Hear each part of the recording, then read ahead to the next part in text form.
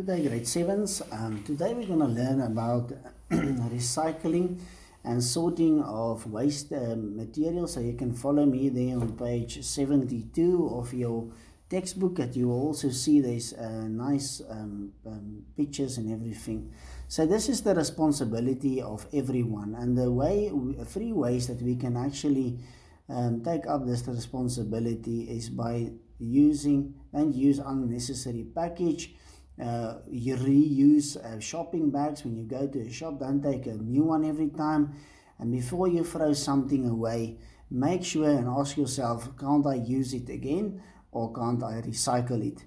Um, okay so there's only certain products that can be recycled. That is glass metal paper and certain pla uh, plastics can be recycled. What is recycling? So um, Recycling is the process of converting used materials into new products. So um, uh, they take, for example, take the uh, cereal boxes are made from office paper or uh, paper towels are made from magazines. So that is the way we recycle. The advantages of recycling is that it saves us electricity um, it, it takes less electricity to uh, um, make uh, reuse the products and then to make new ones. This is this um, symbol of recycling. So make sure that you see um, the logo of recycling. Also, there you will see it in your textbook. In many places, um, you will find this uh, this symbol.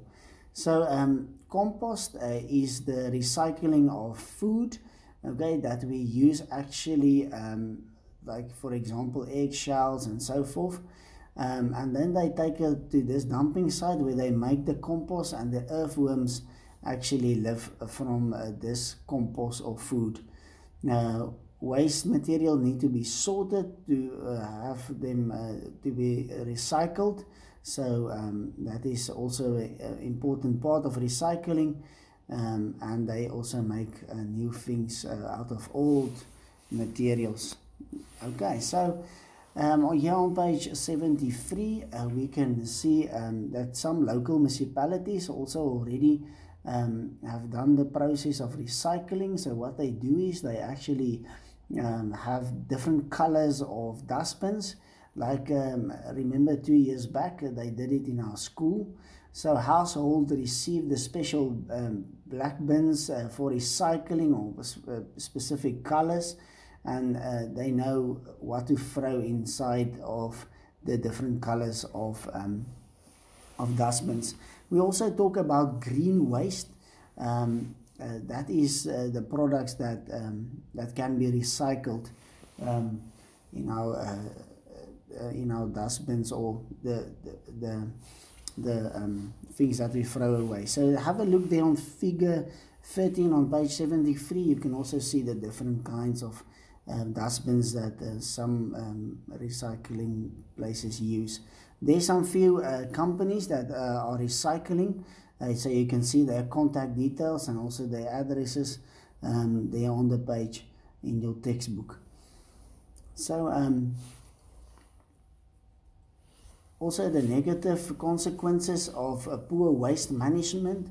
Uh, the biggest thing is um, poor management um, of waste um, causes actually that we uh, that this um, this this uh, um, materials and things come into our drinking water and it causes the rivers and streams and also the sea to be polluted and the drinking water um, is also affected by this okay? Especially drainage um, uh, drainage or sewage be, being blocked uh, the systems being blocked and that because a health hazard.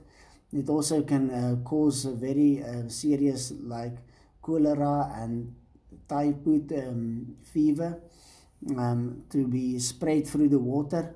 Soil um, soil pollution is also caused by uh, this uh, waste management that is not uh, local farmers are not able to farm.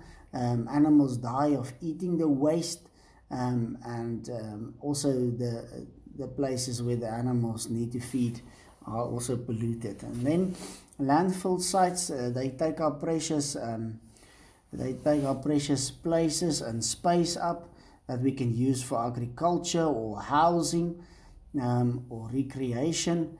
Yeah, so landfill sites is also a breeding place for flies and rats and other disease carriers.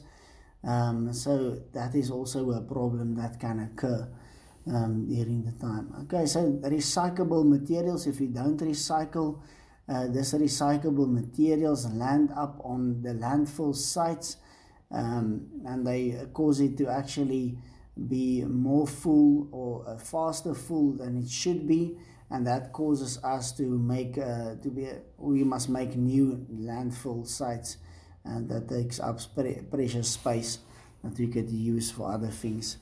So um, I hope you have learned something about uh, waste management and the ne negative consequences of these things on our life